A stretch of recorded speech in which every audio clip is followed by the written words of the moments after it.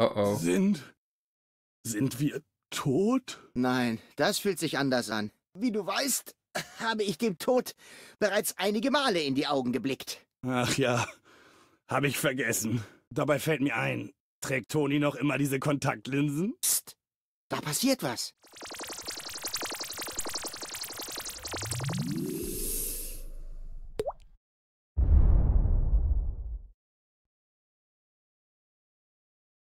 Aua. Puh. Ich glaube, das Zeug könnte seinen Zweck erfüllen. Ja, und willkommen zurück zu Depot. Und ja, nach diesem letzten fiesen Cliffhanger hier wollen wir doch heute mal ein bisschen weitermachen und gucken, was denn noch passiert. Die Welt ist ja jetzt letztendlich nicht untergegangen. Dafür haben wir aber Espresso. Gut. Und ich weiß jetzt nicht, wer das in den Kommentaren noch geschrieben hatte. Ich glaube, es war Nini gewesen. Seid mir nicht böse, wenn ich das jetzt verwechsel. Der Tipp war, dass der Papagei genauso tief schläft, wie Goal es tut. Also hoffentlich kriege ich ihn damit wach.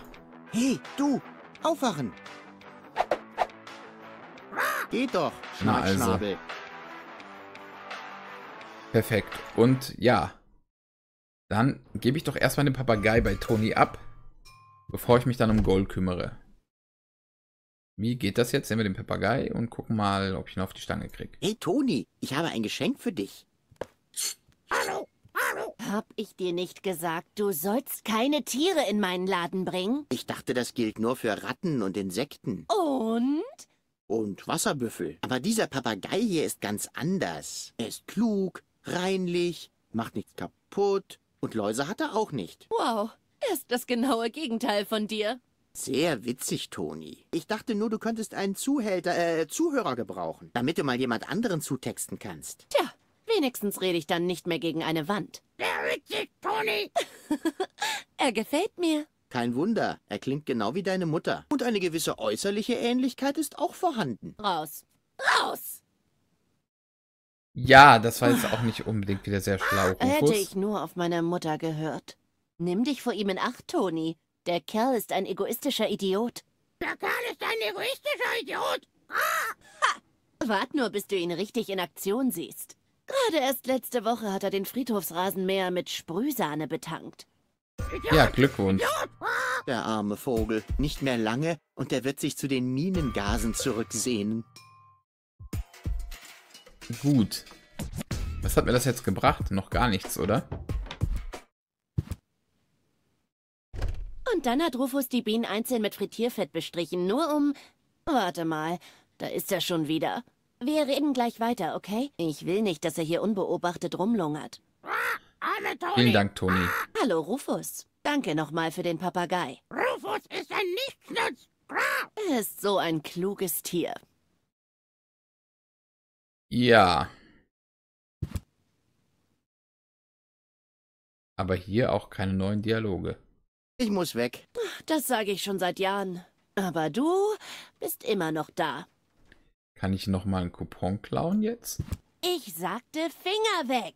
Ja, aber du sagst ja andauernd irgendwas. Nimm die Füße vom Tisch, lass keine Raubtiere in die Wohnung, schick die Medikamente zu Oma. Da muss man schon klug aussortieren. Kann man ja nicht alles auf einmal machen. Und, sieh her, meine Füße sind schon mal nicht auf irgendeinem Tisch. Oh. Nicht aufregen, Toni. Nicht aufregen. Tief durchatmen. Hat mich jetzt nicht weitergebracht. Nein, es gibt hier noch, ich schau mal, das Fenster, das ich nicht öffnen kann, glaube ich, ne?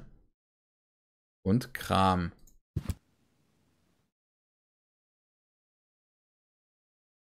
Kann ich nichts anklicken beim Fenster? Auch nicht. Lassen wir das Thema mal offen und kümmern uns jetzt lieber darum, Goal in unsere Welt zurückzuholen. Und das geht nicht hier. Guten Morgen, Matze. Guten Morgen, Rufus. So. Ich kann nicht empfehlen, sie in diesem Zustand zu bewegen. Was ist denn das für ein Zustand? Ich verstehe es immer noch nicht. Ich meine, ist sie tot? Nein, nein. Ihr Körper ist lebendig und gesund. Es ist Ihr Bewusstsein.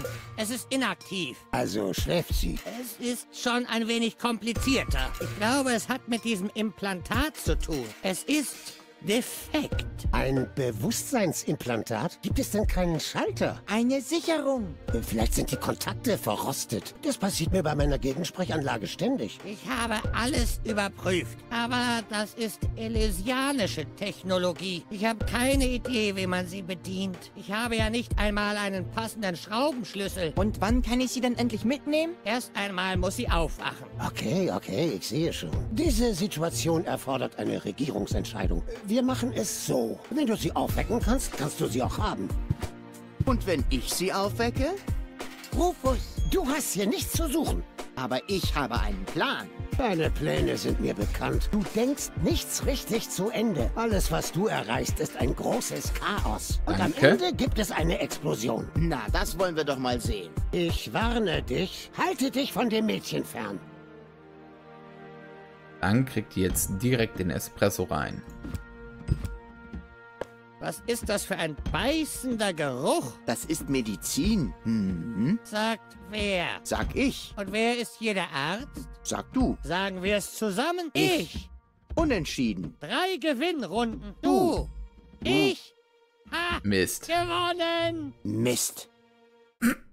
Okay. Mir macht das Angst, dass ich irgendwie scheinbar immer mehr mich in den Charakter Rufus einfühlen kann. Hilfe. Also, das geht nicht. Und es wird auch nicht gehen, wenn ich ihr erst den Trichter in den Mund stopfe. Was soll das werden? Ich will ihr nur diesen Trichter in den Mund stecken. Nicht solange ich Ihr behandelnder Arzt bin. Und ich ihr behandelnder Bürgermeister. Gut. Dr. Können wir Gizmo? mit euch Was reden? denn jetzt noch? Worauf warten Hm. Sie? Helfen Sie ihr. Das würde ich ja gern, aber ich werde ständig von sogenannten Bekannten der Patientin gestört. Sogenannten Bekannten. Das klingt lustig. Können Sie das tausendmal hintereinander sagen? Warum sollte ich? Ich kann auch tausendmal hintereinander verzieh dich sagen, ohne dass es etwas ändert. Na gut, okay. Wird sie wieder gesund? Um das zu beurteilen, müssten Sie erst einmal wach sein. Will ich doch, Dann wecken Sie Gizmo. sie doch. Das geht leider nicht so einfach. Ich habe schon jedes Aufputschmittel aus meiner Apotheke ausprobiert. Nichts war stark genug. Ich bräuchte irgendetwas noch viel heftigeres. Etwas Heftigeres? Das klingt nach einem Job für mich. Ich bin super heftig.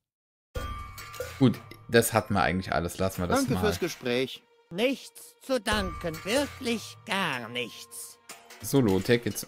Hä, was war das? Eine Tasche. Eine Tasche. Reden wir mal mit dir. Aber Rufus, Sie sind nicht unantastbar, Lotek. Vergessen Sie das nie. Äh... Und die Tasche? Aber Rufus. Kommt Sie aufs Gleiche sind nicht hinaus? unantastbar, Okay. Lotek. Vergessen Sie das nie. Was kann ich mit der Tasche für einen Unfug treiben?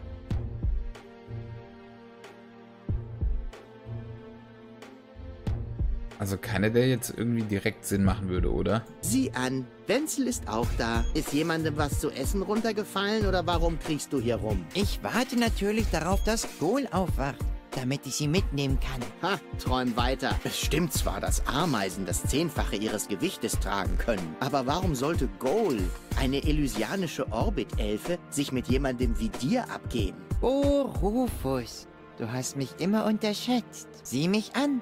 Ich bin ein gemachter Mann. Wer auch immer dich gemacht hat, der hat auf der Hälfte aufgehört. Ich bin reich.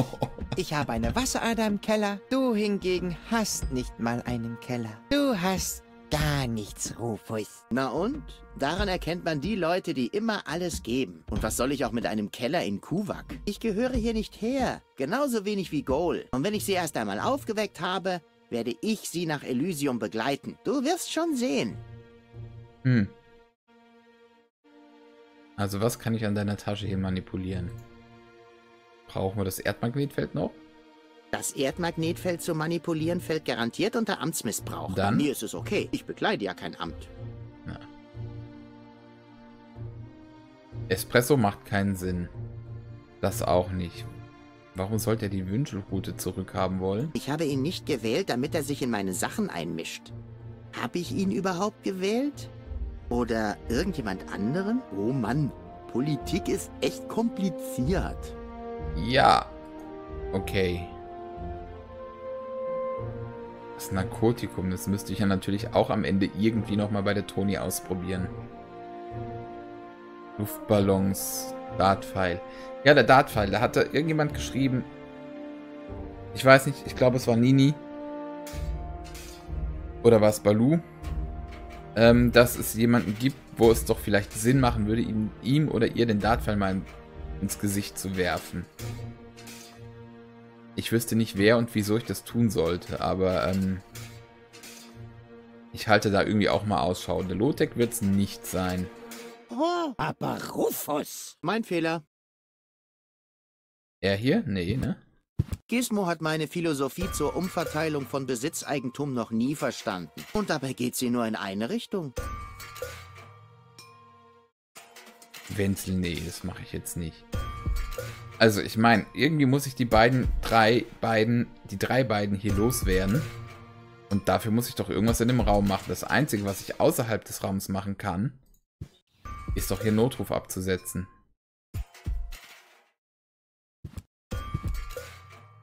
Aber das hat ja bisher nicht funktioniert.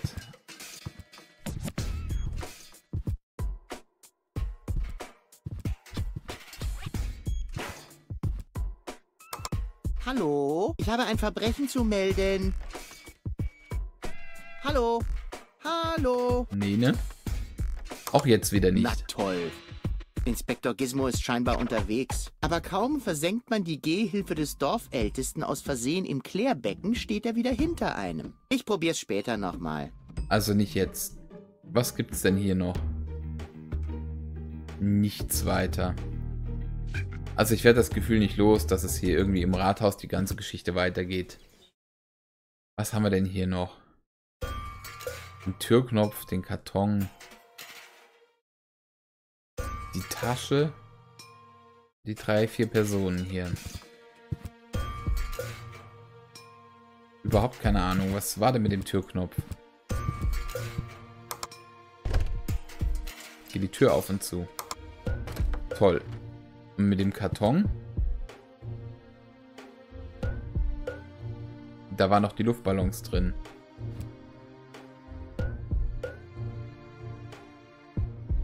Nicht anzünden. Warum eigentlich nicht? Das wäre doch eigentlich im Prinzip ein Notfall. Da müsste doch der Gizmo ausrücken, oder? Kann ich das mit irgendwas? Nee, ich habe ja nichts, womit das geht. Handschweißgerät. Ah, um Himmels Willen. Was riecht denn hier so komisch? Ah, Feuer! Das Rathaus brennt! Brandschutzmodus aktiviert. Brandmeister Gizmo zu Ihren Diensten. Wo ist das Feuer? Na dort, die Kammer steht in Flammen, Herrgott! Keine Sorge, Ihr Feuer ist so gut wie gelöscht.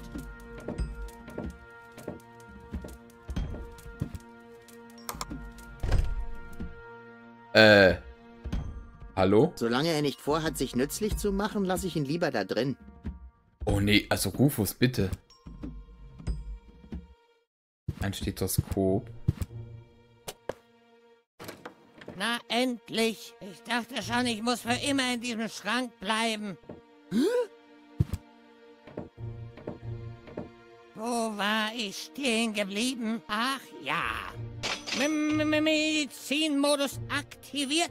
Dr. Gizmo zu Ihren Diensten. Wie steht es um die Patientin? Unverändert, würde ich sagen. Die Diagnose überlassen Sie am besten dem Arzt. Wo ist denn jetzt mein Stethoskop? Es Aha. ist fort. Alarm! Diebstahl! Polizeimodus aktiviert. Der Typ ist durchgepeitscht, Wachtmeister ey. Gizmo zu Ihren Diensten. Niemand verlässt den Tatort. Ach, pass auf. Oh. Aber Rufus, Sie sind nicht unantastbar, Lotek. Vergessen Sie das nie. So, das reicht jetzt aber. ach kommen Sie, Gizmo. Sie haben jetzt wirklich Wichtigeres zu tun. Sagen Sie mir nicht, wie ich meine Arbeit zu tun habe. Oder wollen Sie etwa von Ihrer Schuld ablenken? Das ist doch wohl... Aha! Da ist ja auch der Corpus Delicti. Damit ist das Puzzle komplett. Das Geheimnis um den diebischen Bürgermeister ist endlich gelüftet. Diebischer Bürgermeister? Was erlauben Jetzt Sie geht's sich? rund. Hände hoch, Lotek. Das werde ich ganz bestimmt nicht tun. Sie sollten aber. Ich will aber nicht. Sie haben keine Wahl. Ach ja? Sie sind gefeuert. Sie können mich nicht feuern. Sie sind verhaftet. Sie können mich nicht verhaften. Sie sind gefeuert. Ich habe Sie aber zuerst verhaftet. Na und? Sie sind trotzdem gefeuert. Sie können mich nicht feuern. Sie sind verhaftet. Abgelenkt, Sie oder? können mich nicht verhaften. Sie sind gefeuert. Ich habe Sie schon. aber zuerst verhaftet. Gleich geschafft. Ich muss Sie nur noch sicher gehen, gefeuert. dass auch kein Sie können mich Tropfen nicht verloren feuern. geht. Sie sind Ei, verhaftet. Sie können mich nicht verhaften. Jetzt hat der Trichter Sie sind auch einen Sinn. gefeuert. Ich habe Sie aber zuerst verhaftet. Na und? Sie sind trotzdem gefeuert. Sie können mich nicht feuern. Sie sind verhaftet. Endlich. Ich. Was? Wo? Wer war das? Ich? Ich war das.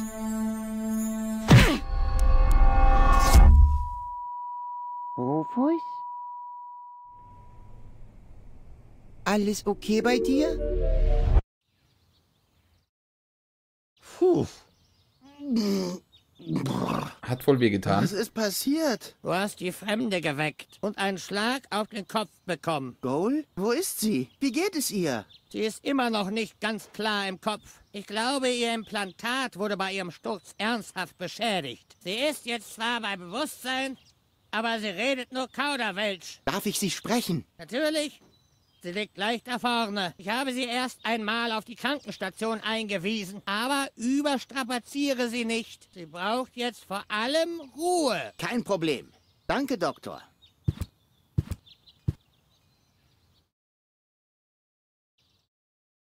Hm. Goal, ich bin's, dein Retter. Bisse, bisse, bisse. Putz. Nein, Rufus. Oh, Ja? putz. Du kannst mich nennen, wie du willst, Baby. Hm. Sag mal, hat das nicht wehgetan, als du vom Himmel gefallen bist? Äh, Ach komm, das war witzig. nee. Weil, ich meine, du bist ja wirklich vom Himmel gefallen. Also war das witzig. Verstehst du?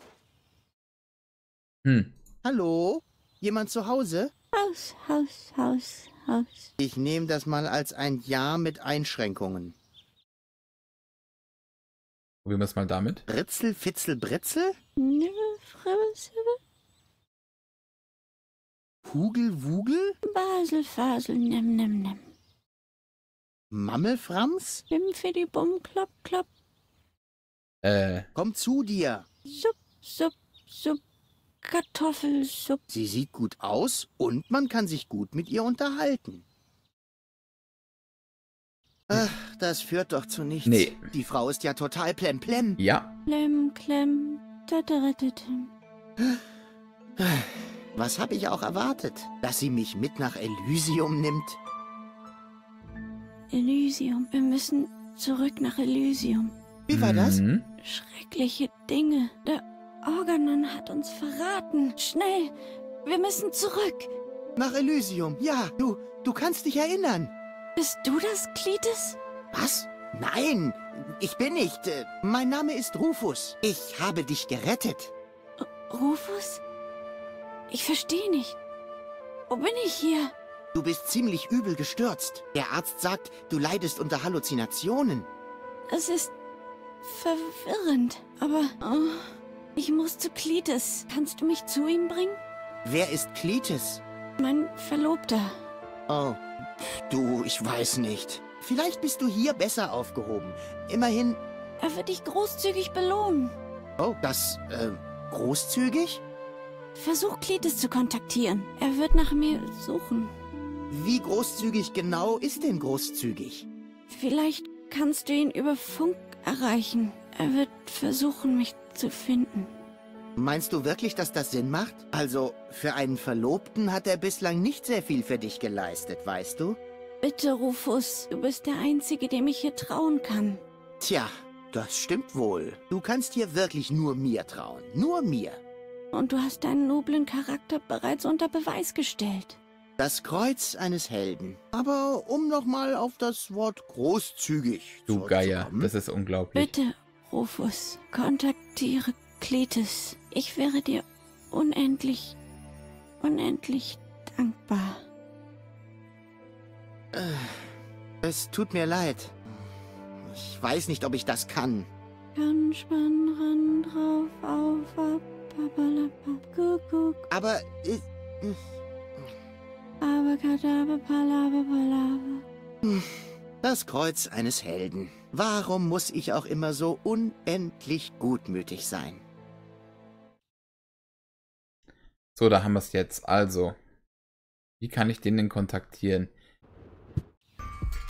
Äh, im Rathaus. Oh, die Leute sind weg. Hat sich hier irgendwas anderes geändert? Ansonsten nicht. Habe ich gesehen, dass es ja beim Lotec diesen Fernschreiber gab. Diesen hier. Diese Technik ist voll für die Katz. Mit dem wohl nicht. Und auf der Bühne im Saal stand ja noch irgendwie. Ist nicht wahr, oder? Der Mann macht mich fertig. Dieses Mikrofon hier.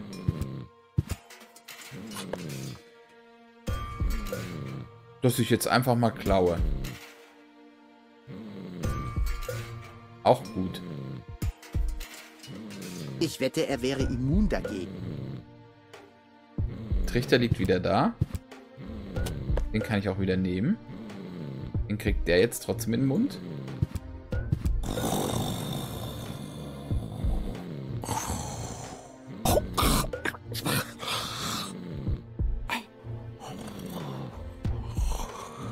Versuch das ja nicht, tot Erik. Ich reiß dir den Kopf. Na gut, das ist eine klare Ansage.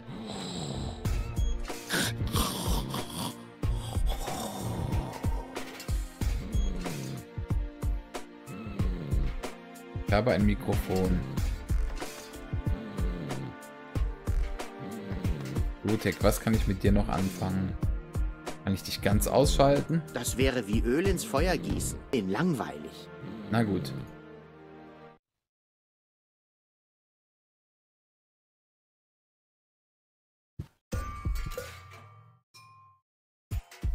Hm.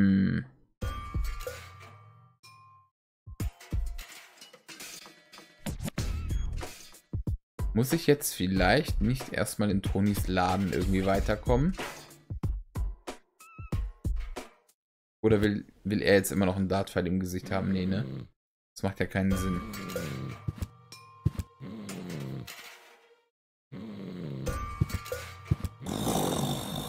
Nein, ach nee, nicht noch mal den ganzen... Das kürze ich mal ab. So.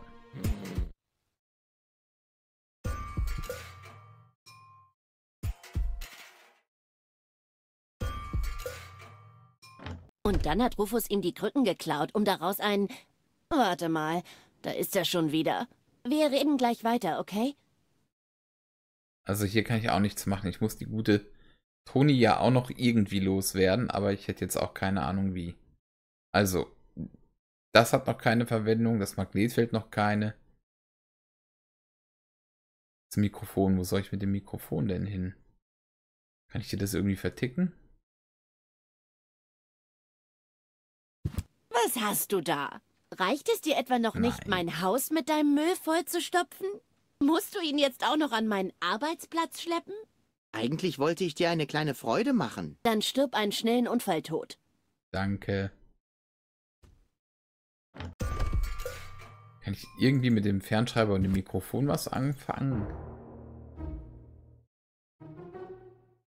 Was ich damit vorhabe, ist tatsächlich eine Schlagzeile wert. Aber noch will ich die Katze nicht aus dem Sack lassen. Okay, aber ich wüsste nicht, ähm, wie ich das jetzt hinkriegen sollte. Gut, Leute, ich würde das hier an der Stelle mal offen lassen. Ich würde sagen, wenn ihr Ideen habt, was ich ausprobieren soll, dann haut mir das einfach mal in die Kommentare rein. Äh, ich habe gerade noch keine Idee, wie ich Klitos kontaktieren sollte. Ähm, hier ist ja auch nicht irgendwo was Neues passiert. Ähm, ich glaube, ich brauche die ganzen Hütten nicht abzugehen. Da ist jetzt überall der vorherige Zustand. Ich habe das Mikrofon, ich habe das Erdmagnetfeld. Kann ich die irgendwie zusammenbringen? Da fehlt ein Adapter. Kleine Klinke auf großer Blödsinn. Hat das irgendwas miteinander zu tun? Ich meine, das Ding gibt in gewisser Weise eine Schwingung ab und das Mikrofon kann sie aufnehmen oder umwandeln, aber... Die Wünschelrote rührt sich nicht. Nee, ne? Offenbar kennt sie nur klares Wasser. Ja. Also, ich lasse das einfach mal offen und bin auf eure Ideen gespannt und freue mich dann schon auf das nächste Mal. Bis dann.